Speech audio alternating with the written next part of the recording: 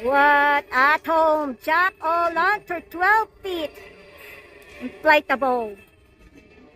Look how tall it is, guys. And of course, Jack Skellington inflatables. It's also 10, it's that's 10 feet. And what? Jack-o'-lantern pumpkin. 5 feet.